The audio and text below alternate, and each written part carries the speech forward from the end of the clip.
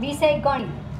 Chapter છે પાંચ. તે સરખું દેખાય છે. લેક્ચર એક, તારીખ છવ્વીસ, આઠ, વીસ. હવે સરખું દેખાય છે એ જોવા માટે આપણે બંને વસ્તુ લેવી પડે ત્યારે આપણે જોઈએ કે વસ્તુ સરખી દેખાય છે. ચાલો, રંગના એક ટીપાથી પેટર્ન બનાવે રંગનું એક જ ટીપું મૂકવાનું છે ને આપણે પેટર્ન બનાવવાની છે. મેં આ પેટર્ન રંગના એક ટીપામાંથી બનાવી છે, તમે પણ તે બનાવી શકો છો. આ પેટર્ન જો રંગનું એક ટીપું મૂક્યું અને એ ટીપું મૂકીને એને પેટર્ન બનાવી, આ પ્રમાણે આપણે પણ એક પેટર્ન બનાવીએ. તમારી પેટર્ન બનાવો. કાગળનો એક ટુકડો લેવાનો. ચોરસ કાગળનો ટુકડો. તેને અડધો ગળી વાર દેવાનો. ગળીને ખોલો અને વચ્ચેની રેખા પર રંગનું એક ટીપું મૂકી દેવાનું. તેને બે વાર વાળો આ કાગળને દબાવો જેથી રંગ ફેલાય. આપણા ઘરે પણ આ પ્રયોગ કરી શકાય અને આપણે રમત પણ લાગે અને એક ડિઝાઇન બનશે. અને ખોલો અને જુઓ, એક સુંદર પેટર્ન તૈયાર થઈ જશે. જોઈ બાજુમાં કેટલી સરસ મજાની પેટર્ન બની ગઈ. આપણે પણ આવી બનાવવાની છે. તમે આ પેટર્ન કોઈ એવી રીતે કાપી શકો જેથી દર્પણમાં આખું ચિત્ર અને બે ટુકડા બરાબર થઈ જાય. તમે કેટલી સરસ. હવે આ પ્રકરણમાં આપણે બધી પેટર્ન જ બનાવવાની છે. પેટર્ન બનાવી હોય તો આપણે ટાઈમ બગડે, એના કરતાં આપણે આગળ લઈએ. જો હવે અડધો આંટો ફેરવતીએ, તો પણ વસ્તુ આપણને તેવી ને તેવી દેખાય એ માટે આપણે એક વાત જોઈએ. એક રાજા હતો. રાજા ખૂબ પરેશાન હતો. કારણ કે કોઈ ચોર તેની તિજોરીમાંથી કિંમતી ચવેરાત ચોરી જતો હતો. રાજાની તિજોરી દેખામાં આના જેવી હતી રાજાની તિજોરી આપણી ઘરે તિજોરીઓ એવી જ હતી. પણ અહીંયા કંઈક જુદું છે, તમે સમજજો. તિજોરીનો અડધો હાથ ફેરવવાથી તિજોરી ખુલી જાય. તિજોરી ખોલવા માટે એનો અડધો હાથ ફેરવીએ આપણે ઘરે હોય છે હેન્ડલ એ ફેરવે તો તિજોરી ખુલી જાય છે. હાથાને ફરીથી અડધો ફેરવતી તિજોરી બંધ થઈ જતી. ઘણીવાર તિજોરીને બંધ સમજી રાજા ખુલ્લી રાખતો, તેનું કારણ અનુમાન કરતો. કારણ કે બંને બાજુ સરખું હતું, ચિત્ર એટલે આમ ફેરવે તો પણ ખુલી જાય અને આમ રાખે તો બંધ થઈ જાય. હવે સમજવું કઈ રીતે કે ખુલ્લી છે કે બંધ છે? એ માટે રાજાએ એક દિવસ રાજાની હોશિયાર પુત્રીએ તેને એક યુક્તિ બનાવી. તે ખૂબ જ ગમી. હવે રાજા ક્યારેય મૂંઝાતો નહોતો. તમે અનુમાન કરશો કે તે યુક્તિ શું હતી. રાજાની પુત્રીએ રાજાને તિજોરીના હાથાના પીળા રંગની ધાર પર એક ટપકું કરવા કહ્યું. પીળો રંગ હતો, ત્યાં ટપકું કરવાનું કહ્યું. એટલે એ અડધો ભાગ ખુલે એટલે તરત જ ખ્યાલ આવી જાય તિજોરી ખુલ્લી છે કે બંધ છે. રાજા પાસે અલગ અલગ ઘણી તિજોરીઓ છે. તપાસો, કયા હાથાને અડધો ફેરવવાથી રાજા એ રીતે ભૂલ કરી શકે છે. જો રાજા લાલ હાથ ફેરવે લાલ હેન્ડલવાળું ફેરવે, તો સમજવાનું કે તિજોરી ખુલ્લી બંધ છે. આમાંથી દરેક પ્રશ્ન ઉકેલવા તમે શું કરશો? આમાંથી પ્રશ્ન ઉકેલવા હું ટપકું કરીશ. દરેક પર શું કરીશ? ટપકું કરી એટલે આપણને ખ્યાલ આવે કે અહીંયાથી આપણે ખોલીએ અને અહીંયાથી બંધ કર્યું હવે અનુમાન કરો કે નીચે કેટલાક આકારોમાંથી કોને અડધો આંટો ફેરવવાથી એવો જ આકાર દેખાય છે. ચોરસ છે, લંબચોરસ છે, ગોળ છે, લંબચોરસ, ત્રિકોણ પંચ ષષ્ઠકોણ, પંચકોણ આપેલા છે. હવે એને અડધો આંટો ફેરવીએ તો પણ ચોરસ દેખાય. આખો આંટો ફેરવીએ તો પણ ચોરસ દેખાય. તેવા છે ચોરસ, વર્તુળ અને ષષ્ઠકોણ. અડધો ફેરવો તો પણ એવો ને એવો દેખાય.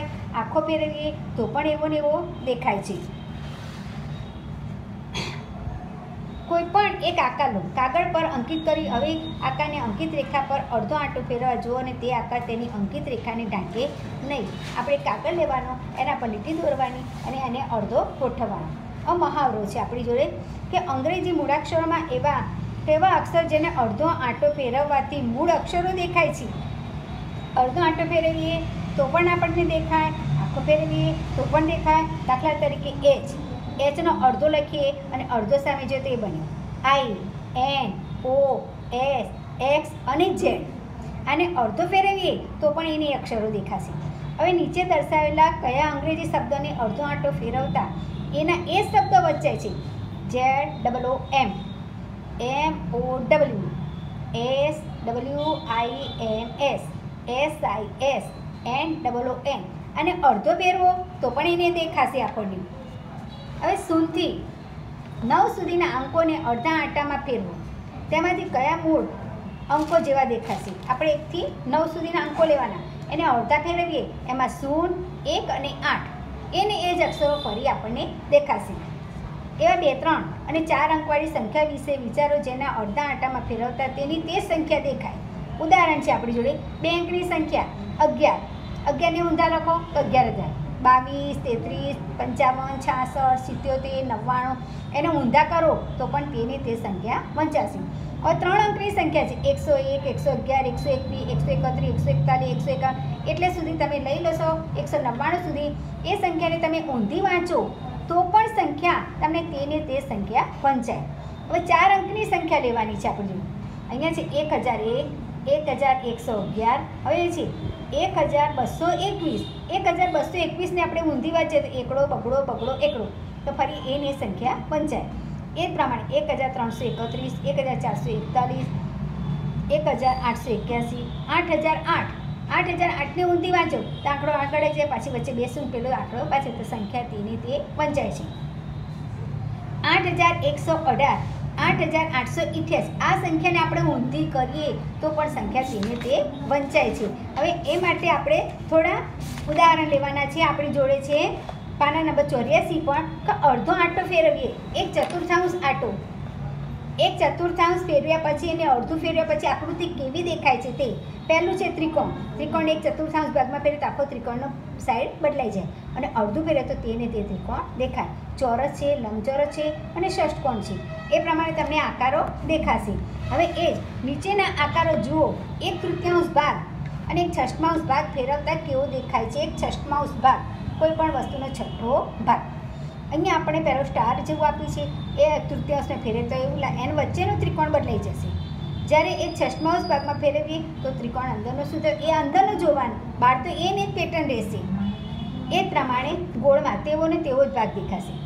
અહીંયા છે સ્ટાર જેવું, એ પણ તેઓને તેવો ભાગ હા, નીચેની આકૃતિ બદલાઈ જશે પાછી. એક છઠ્ઠાંશમાં એક તૃતીયાંશમાં ફેરીએ તેનો આકાર બદલાઈ જાય છે. હવે એ પ્રમાણે તમારે નીચેના આકારો જુઓ. આ આકૃતિમાં થી જેમને એક તૃતીયાંશમાં ફેરવવાથી પહેલાં જેવી દેખાય છે, તેમની નિશાની ખરું દર્શાવો.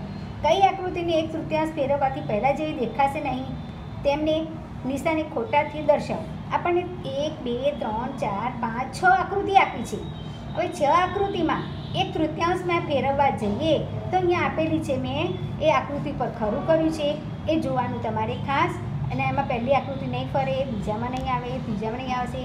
અને ચો, નીચેની ચાર, પાંચ, છ છે, એ ત્રણેય આકૃતિઓ ગોળ દે- એ પરિસ્થિતિમાં દેખી શકાય છે. પ્રયત્ન કરો અને નીચે આપેલા આકારોને એવી રીતે બદલો કે તૃતીયાંશ ફેરવથી પહેલાં જેવી જ દેખાય. એ આપણે પ્રયત્ન તમારે ઘેર દોરવાના, નોટમાં અને કરવાના છે. કેટલાક એવા આકારો દોરો કે જેને એક તૃતીયાંશ ફેરવથી પહેલાં જેવી જ આકૃતિ દેખાય. કેટલાક એવા આકારો દોરો જેને એક ચશ્માઉસ પહેરાવવાથી પહેલાં જેવા દેખાય. જો અહીંયા આ તમારું ચેપ્ટર એક સરખું દેખાય, તે આકૃતિનું જ છે. હવે આમાં કેટલીક આકૃતિઓ નોટમાં દોરવાની છે એ હું લેસનની નોટમાં તમને આપીશ. એ તમારી લેસનની નોટમાં અથવા ગણિતની નોટમાં સારા અક્ષરે પેન્સિલથી આકૃતિઓ ફરજિયાત દોરવાની રહેશે. અડધી દોરવાની, એક તૃતીયાંશ દોરવાની, એ આકૃતિઓ દોરવાની છે. અને અક્ષરો સારા કાઢજો. અને ઘડિયા બધાએ મોઢે કરતા રહેવાના છે. બરોબર? પરીક્ષાની તૈયારી પણ સાથે સાથે કરવાની રહેશે. નમસ્તે.